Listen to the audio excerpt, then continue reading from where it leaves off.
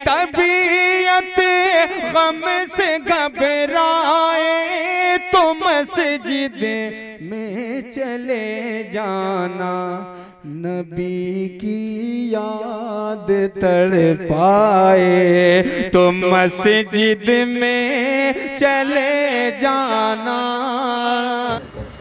दोनों आलम में सल्ले अला की सदा हुस्न गुलशन में फिर से बाहर आ गया।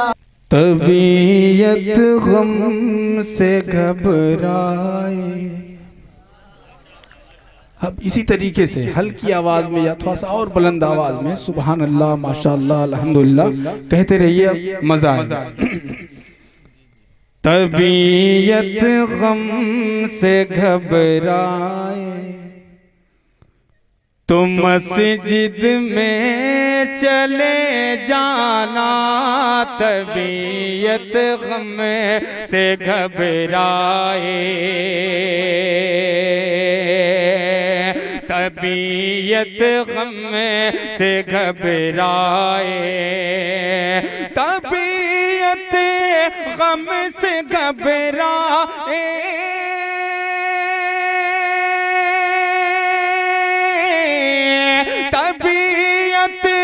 गम से घबराए तो मस्जिद में चले जाना। नबी की याद तड़ पाए तो मस्जिद में चले जाना। नबी की याद तड़ पाए। ये भी शेर उलमा कराम के आगोश में रखते हुए आपकी अदालत में पेश करता हूँ। इरशाद भाई आपके भी हवाले से। ये नहीं कि मैं इस वक्त कुछ डिमांड कर रहा हूँ। बिल्कुल ऐसा नहीं ऐसी कोई बात नहीं है। लेकिन अगर आए तो कोई दिक्कत भी नहीं है। कि नबी की याद तड़ पाए, कि खुदा के कुर्ब की लज्जत। अगर महसूस करनी हो, खुदा के कुर्ब की लज्जत। खुदा के कुर्ब की लज्जत अगर महसूस करनी हो, खुदा के कुर्ब की लज्जत। खुदा के कुर्ब की लज्जत।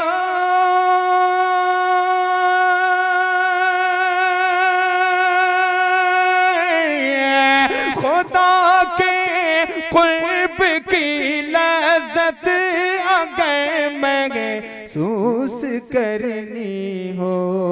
अजा कानों में जब आए तो मस्जिद में चले आना। अजा कानों में जब आए तो मस्जिद में चले आना। तबीयत गम से घबराए। और ये भी एक शेर, अछूता सा शेर है। हज़रत की दुआएँ और तमाम किराम की दुआएँ शोरा एजाम की दुआएँ पेश करता हूँ। मुलाजा फरमाएँ कि कोई गम हो, कि कोई गम हो न छूटे दामने।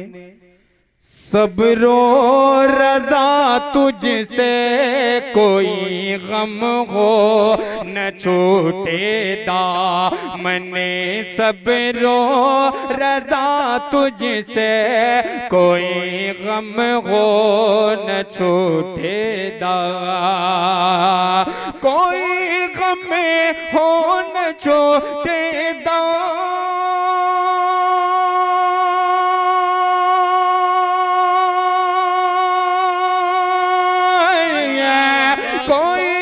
गम हो न छोटे दामने सब रो रजा तुझसे। खुशी जब हाथ में आए, खुशी जब हाथ में आए तो मस्जिद में चले जाना। खुशी जब हाथ में आए। और आखिरी शेर पेश करता हूँ लाजा फरमाए। मुझे उम्मीद है कि इस शेर पे तमामी हजरात की दुआएँ मुझे आ, मिलेंगी और स्टेज से भी दुआएँ मिलेंगी। पेश करता हूँ लाजा करें। हो, हो।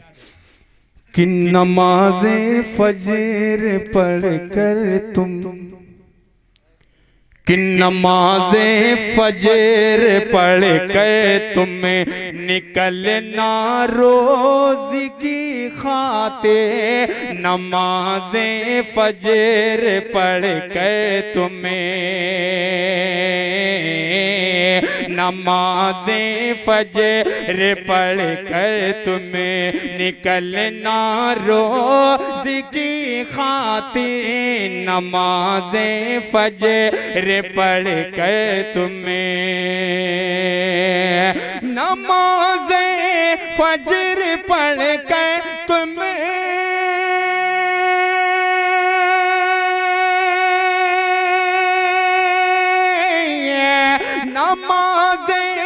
फजर पढ़ कर तुम निकलना रोज की खातिर।